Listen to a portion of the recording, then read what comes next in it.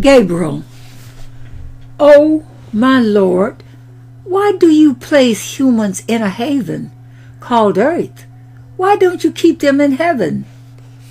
Christ, humans are like drops of water leaving their sea as if forever, in the form of vapor and rain, ultimately turning into a river to flow through valleys and forests without border or margin and drain back after a long sojourn into the sea, their origin.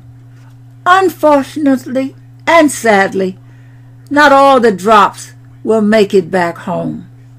Some humans, because of free will, shall deliberately choose to roam about elsewhere rather than return to their origin and heavenly home.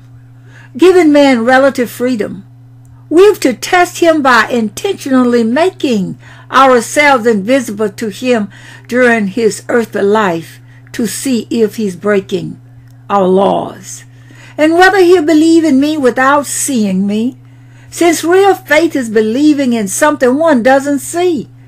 You angels don't need any faith at all to believe, because you see us every day, and to us you cleave.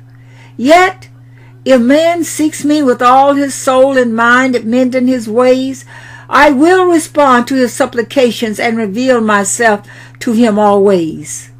We've to allow man to be tempted on earth to find out whether he's worthy of joining us later in heaven for eternal life together. Besides, we want to check out how humans treat and interact with one another in circumstances where it is a must to react. In other words, Earth will be a place of screening and purification to determine the future of mankind. This will answer your question. Yes, indeed, being invisible and seeming to be distant will monitor closely how man behaves in every instant.